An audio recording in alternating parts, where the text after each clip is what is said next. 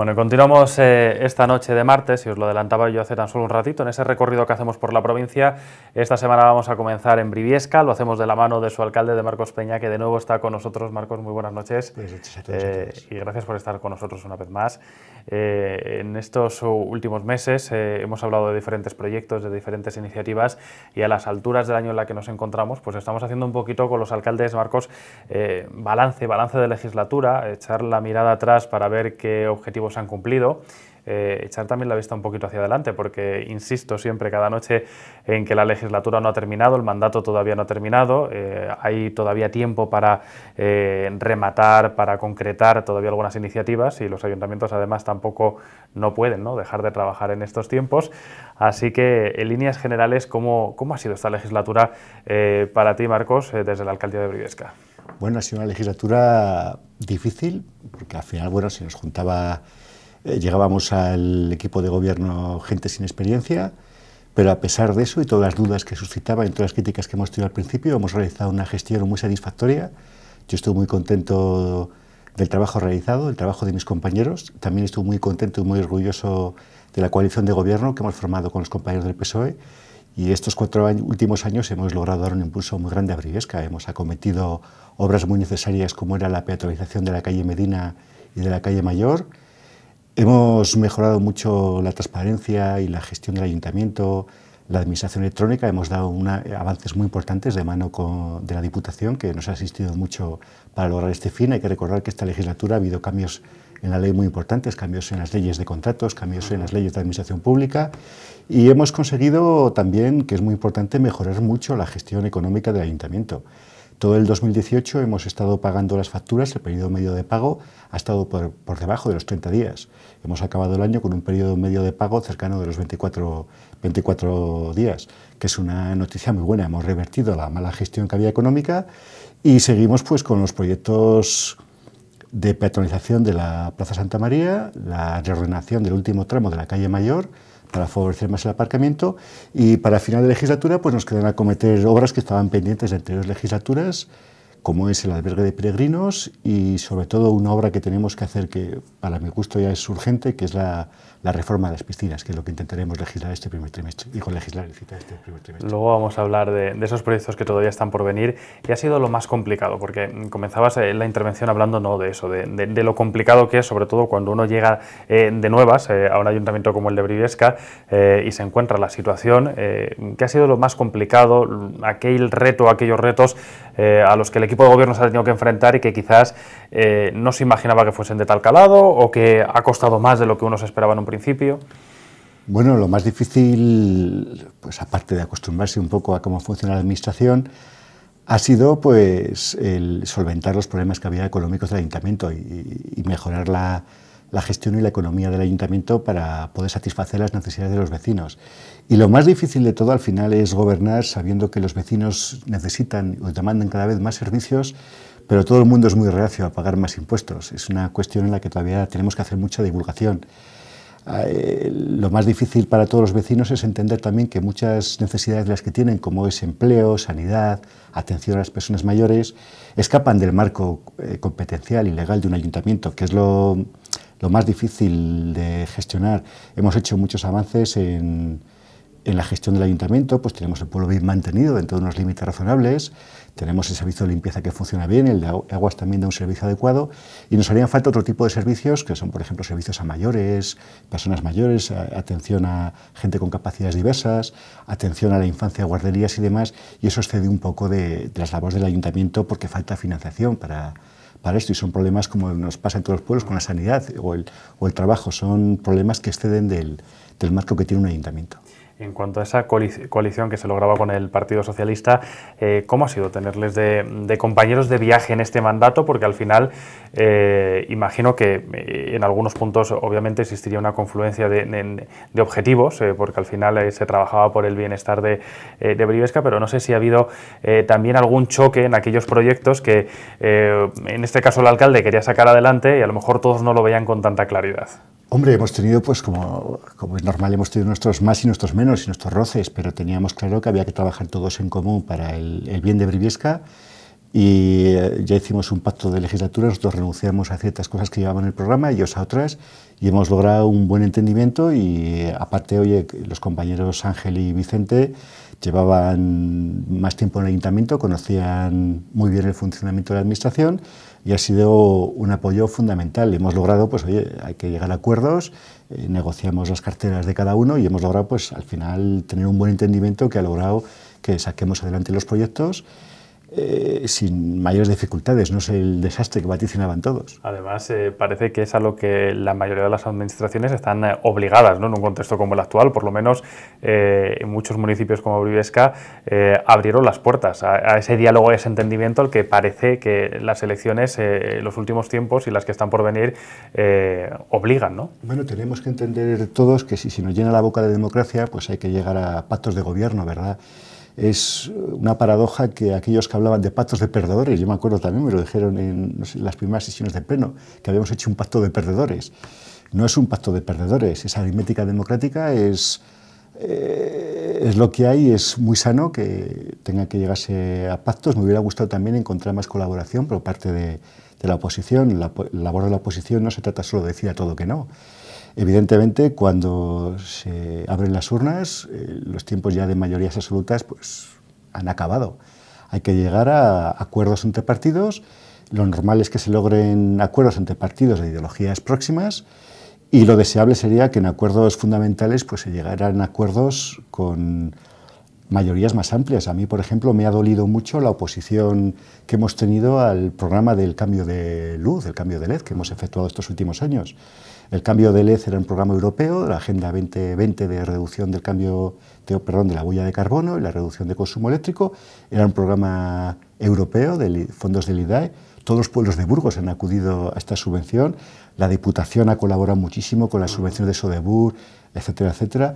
Y en Brivesca hemos encontrado pues, una, una oposición por parte del PP Ciudadanos que no me parecía en absoluto normal, porque son acuerdos, no digo que lleguemos a un acuerdo de legislatura con el PP o Ciudadanos, pero hay proyectos para el pueblo que están muy claros que había que tener un consenso mayoritario y ha habido cierta distensión que no la explico más que en términos pues, de estrategia política.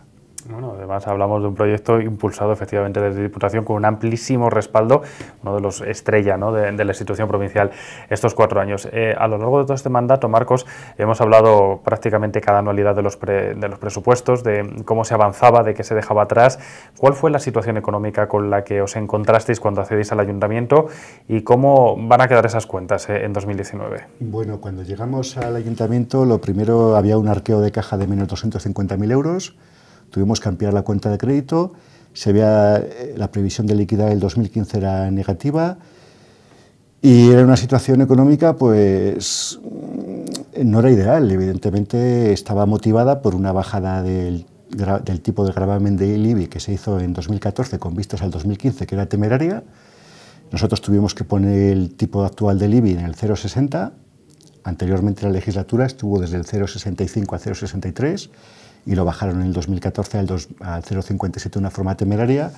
Hemos tenido que mejorar mucho también la gestión y apretar pues, en lo que hemos visto que gastos que eran pues, eh, eh, prescindibles. Hemos administrado pues, casi rozando la austeridad el gasto corriente. Hemos tenido que subir tasas efectivamente de algunos servicios porque no eran sostenibles y hay que seguir trabajando en eso. Se trata de hacer los servicios sostenibles y no utilizar el presupuesto municipal para hacer amiguetes. Hay que buscar un presupuesto municipal que sirva a las necesidades de la mayoría.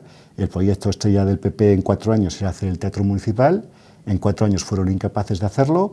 Ese teatro municipal y la forma que tenían de financiarlo pues estaba condenando las arcas. Tuvimos que el primer año acabar la parte del teatro que habían dejado licitada y en cuanto hemos parado la obra del teatro, pues las cuentas... Uno empieza a respirar, pues, ¿no? Empiezan a respirar porque no estaba bien pensado la, la planificación de esa obra ni cómo se iba a pagar. Esto no quiere decir que el equipo de gobierno actual no comparta ¿no? la necesidad de recuperar el teatro, porque además es, yo sé que una espinita ¿no? de, muchísimos vecinos de Briviesca eh, que quieren ver cómo al final esa dotación en la que se ha puesto tanta ilusión y sobre todo tanto dinero eh, pueda haber por fin esa rehabilitación completa. No, es un deseo que teníamos todos y que compartimos todos y hemos dado los pasos necesarios para que siga haciéndose. Hemos solicitado una subvención al, Ministerio de Fomento, el famoso Unimedio Cultural.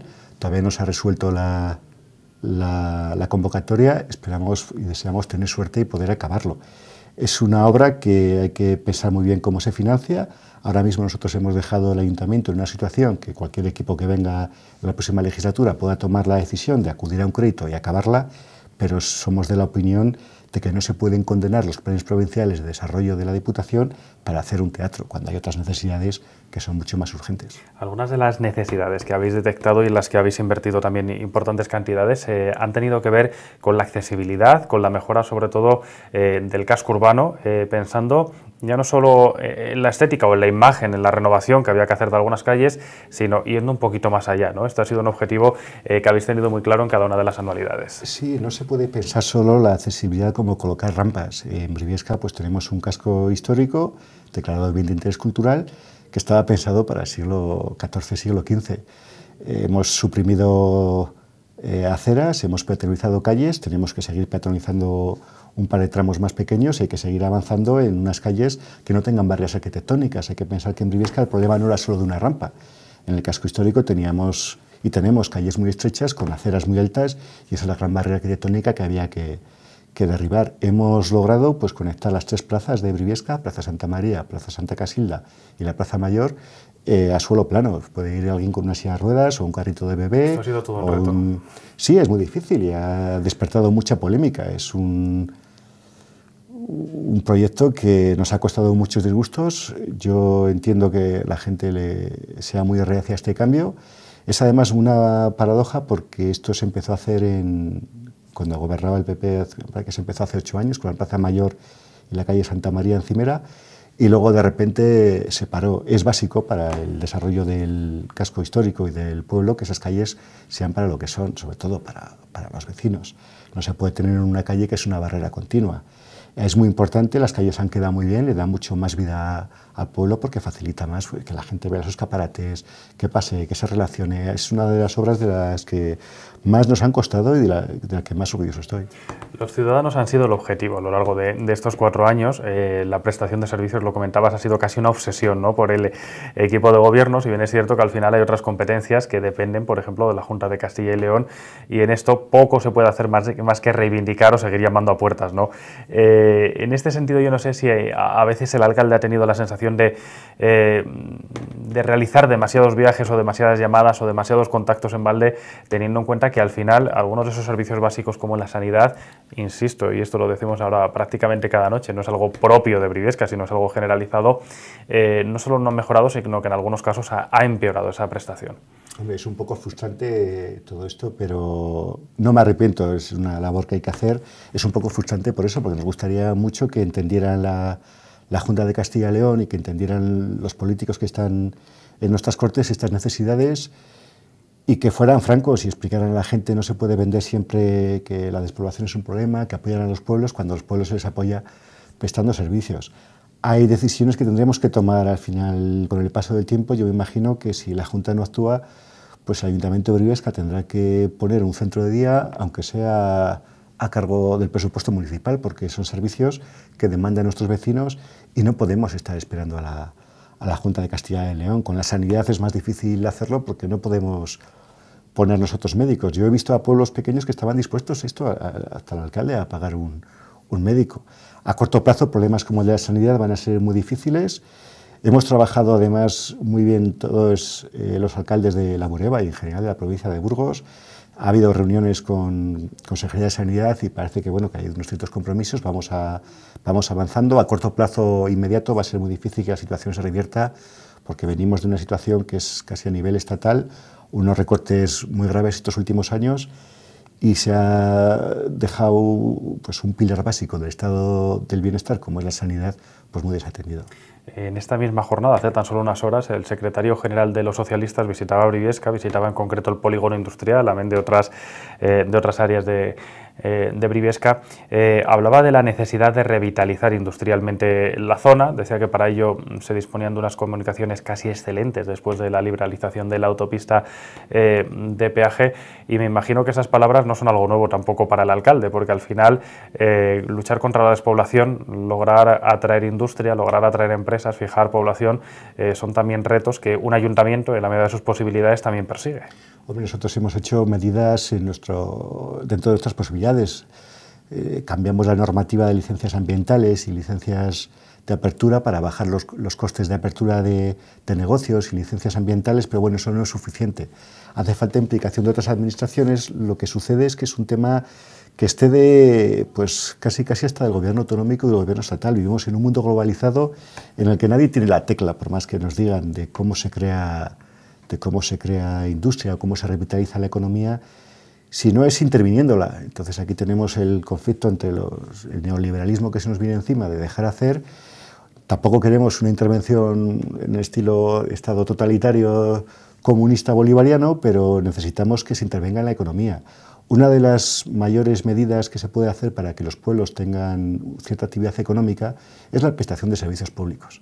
Entonces necesitamos, por ejemplo, que se abran residencias de ancianos, que se abran guarderías públicas, que se aumente la educación infantil de 0 a 3 años, que se incentive a los médicos y a los profesionales que van a ocupar los puestos de profesores, médicos en los pueblos para que puedan residir allí.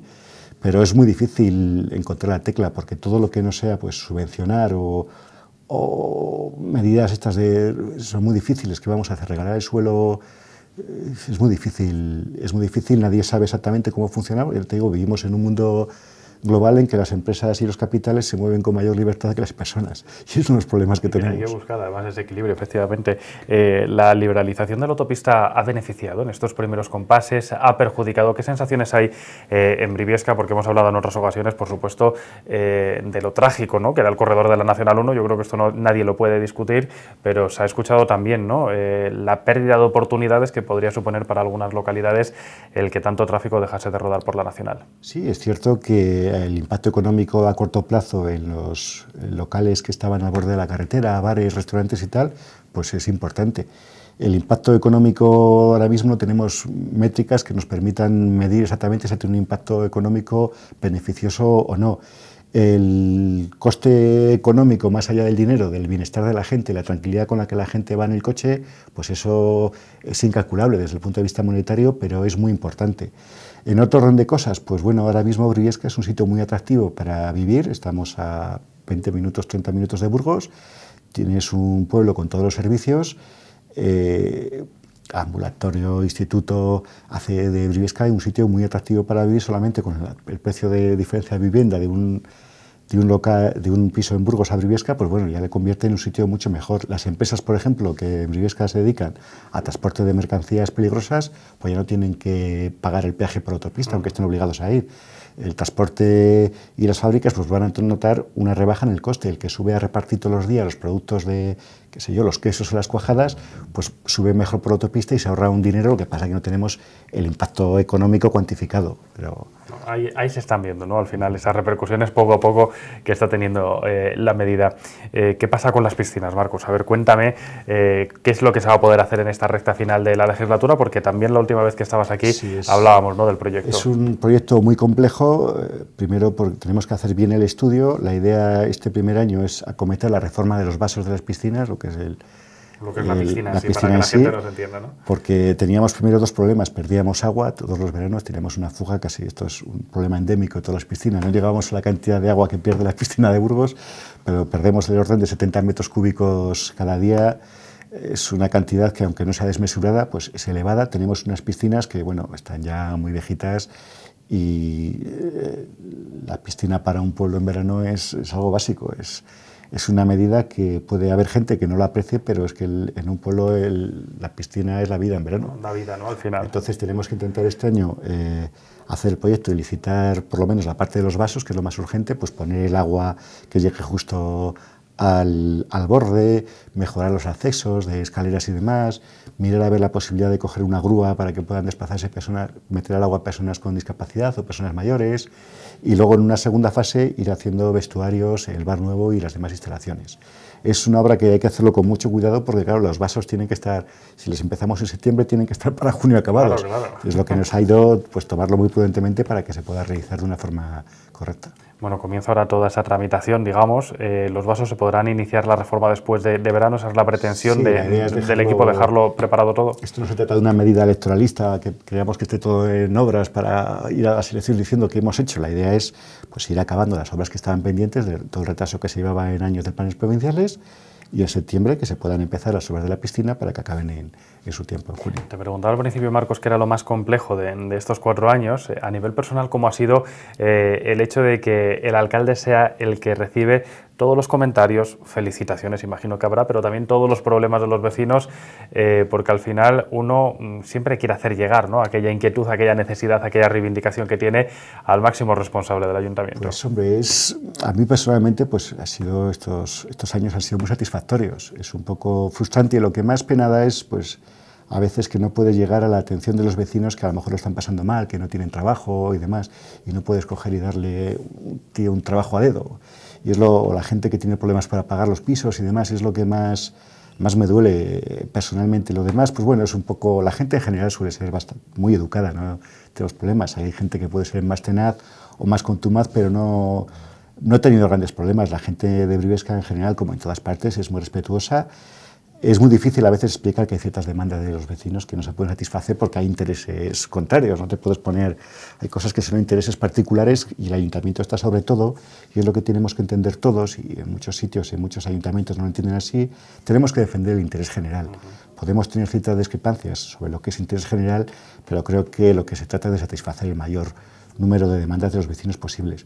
Y es lo más difícil a veces que te obligan a intermediar o tomar parte en conflictos que no son de interés general, que son entre vecinos. Pero por lo demás estoy muy contento, muy satisfecho con el trabajo realizado y ya te digo, la gente en general en Viviesca es muy respetuosa y no me ha supuesto ningún problema personal grave. Más satisfacciones entonces que quebraderos de cabeza eh, y ganas de seguir continuando. Sí, es que normalmente la gente que está en política luego, ¿sabes? Parece que no sé, como si esto fuera una carga, como, una carga tal.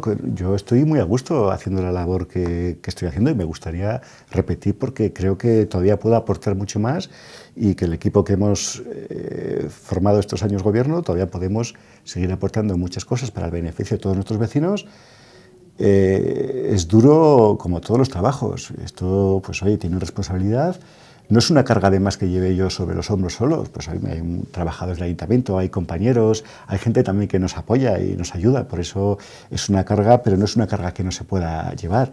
Estoy muy contento y además aprovecho para que la gente hoy se anime a participar en política en su pueblo, en su ciudad o donde sea, porque si dejamos la política en manos de los profesionales, pues estamos perdiendo uno de los pilares básicos de la democracia, que es la participación de todos en política. Tendremos oportunidad en los próximos meses de hablar de ese programa electoral, espero eh, que vengas a contarnos las propuestas, pero si hay que adelantar una o hay que adelantar un proyecto, eh, ¿cuál sería la ilusión de, Marcos Peña de cara eh, a los próximos cuatro años, si no para que se realice, sí para que se pueda avanzar en ese objetivo? Hombre, la verdad es que yo no soy mucho de proyectos de, aparte de las piscinas, que me gustaría, me gustaría también ver acabar el teatro, me gustaría un centro de día, pero sobre todo la próxima legislatura, donde viene más, vamos a decirlo, y hay que ser más cuidadosos, hay que reestructurar el, ayuntamiento, hay que reestructurar el ayuntamiento, reestructurar los servicios, adecuarles a una población que está, que está disminuyendo, que es lo más difícil.